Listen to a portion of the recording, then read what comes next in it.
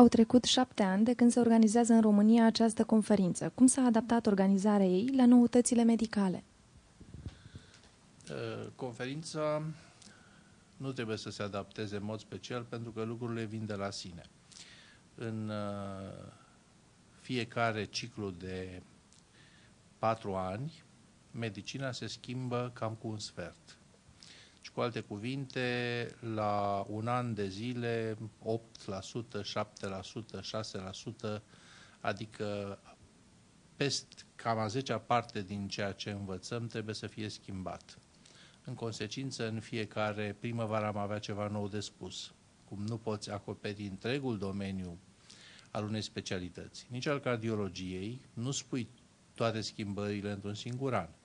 Așa că la fiecare 2 ani, fiecare 3 ani se reiau anumite domenii, pentru exemple mai clare, domeniul insuficienței cardiace, domeniul infarctului de miocard, domeniul tulburărilor de ritm ale inimii și se discută lucrurile care s-au schimbat sau cum se pot aplica în România anumite lucruri la care nu avem întotdeauna toate posibilitățile tehnice. Deci adaptarea se face de la sine pentru că medicina, ca și toată societatea omenească, evoluează și este păcat să nu aplici ceva nou care poate face bine, pentru că nu știi, nu ești la curent că acel lucru s-a întâmplat. Care este impactul conferinței pentru medicii de familie? Un medic de familie îngrijește toate problemele bolnavilor și bolnavii au probleme de inimă, probleme digestive, probleme neurologice, uneori probleme psihice. Dar, din păcate pentru România, cele mai multe boli ale românilor sunt bolile cardiovasculare este cunoscut faptul că din uh, românii care se prăpădesc în fiecare an, două treimi se prăpădesc din pricina bolilor cardiovasculare. Deci și medicii de familie au ca principală preocupare îngrijirea acestor boli. În consecință, faptul că ei sunt menținuți în fiecare an la curent cu ceea ce este important de știut, ce s-a întâmplat în lume, le este fără discuție folositor, pentru că este vorba despre majoritatea activităților de zi cu zi. Impactul este acela al faptului că ei ascultă pe lideri de opinie din uh, cardiologie care le explică lucrurile practice pe care trebuie să le știe din cele ce s-au schimbat în anul care a trecut sau în anii care au trecut. A devenit această conferință o, un criteriu de referință printre societățile din domeniu, așa cum se întâmplă și în alte țări, de exemplu în Statele Unite? Orice fel de conferință națională este o conferință uh, care are menirea de a se referi la atitudinea medicală a întregii uh, Uh, comunități medicale dintr-o țară.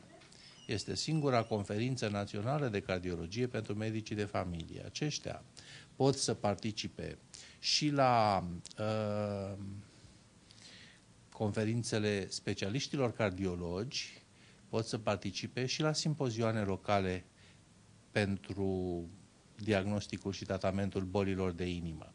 Dar la conferințele medicilor cardiologi de obicei se discută probleme pe care le au aceștia de rezolvat în spitale și medicii de familie sunt doar ținuți la curent cu ce se întâmplă cu bolnavii lor, fără să aibă implicații directe și imediate pe activitatea medicilor de familie.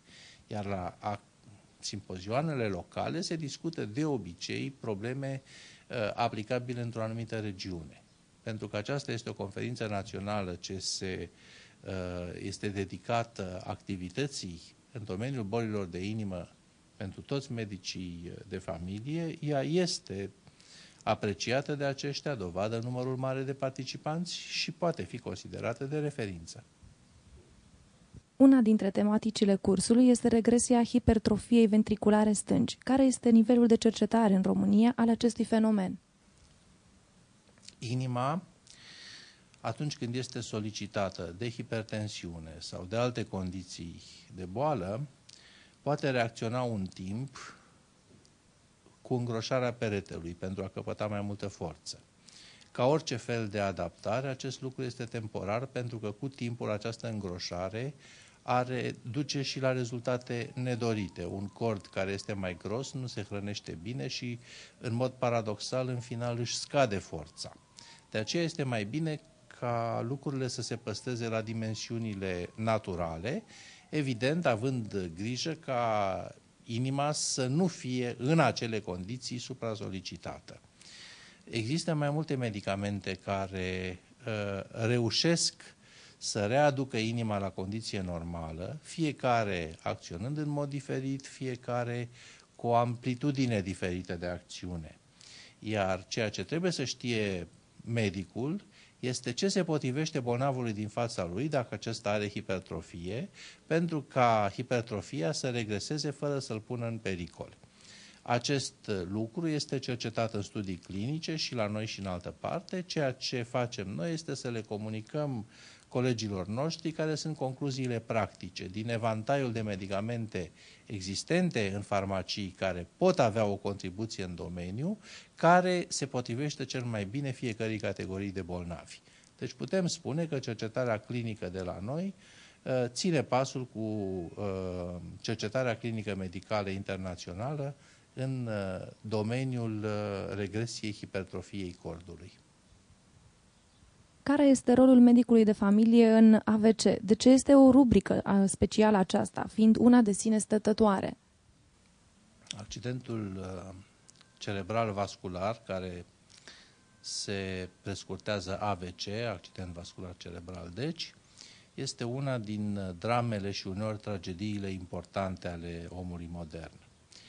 Uh, accidentul vascular cerebral ascunde în sine mai multe boli. Uneori, Uh, el este de natură hemoragică, deci se rupe un vas și creierul este inundat cu sânge.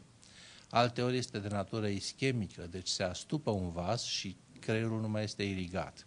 Deci, dintr-o dată, sunt două lucruri diametral opuse. În primul caz, ar trebui să oprim hemoragia, în al doilea caz, din contră, ar trebui să fluidizăm sângele. Toate cu foarte multe riscuri, toate uneori cu uh, posibilități limitate de intervenție.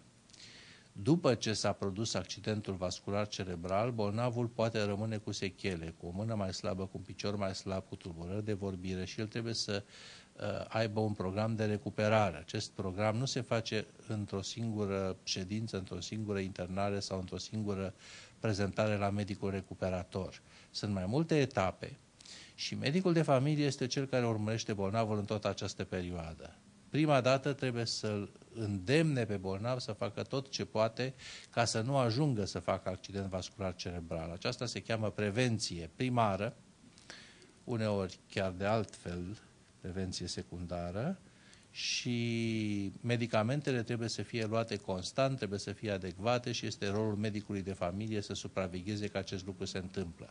Multe accidente vasculare se întâmplă din pricina unei hipertensiuni prost tratate, și uh, medicul de familie este cel care uh, urmărește ca acest lucru să nu se întâmple. Dacă accidentul vascular cerebral s-a întâmplat totuși, de obicei el este uh, acut și este nevoie de salvare, alteori poate să dea semne premonitorii și medicul de familie le poate identifica. Bolnavul trebuie să fie spitalizat. După ce iese din spital însă, continuarea tratamentului ca acest accident să nu se mai repete și ca recuperarea să fie cât mai mare, necesită, v-am spus, după caz, tratamente diametral opuse. Tot medicul de familie este cel care le urmărește. De aceea, accidentul vascular cerebral este un capitol aparte. Pe de o parte, pentru că, din păcate, este foarte frecvent, pe de a doua parte, pentru că poate fi prevenit și stă în puterea medicului de familie să-l convingă pe bolnav să facă ce trebuie, pe de a treia parte, pentru că trebuie îngrijit bolnavul cu grijă după aceea pentru ca să poată recupera. Uh, este o realitate și medicii de familie sunt convinși de importanța activităților în acest domeniu.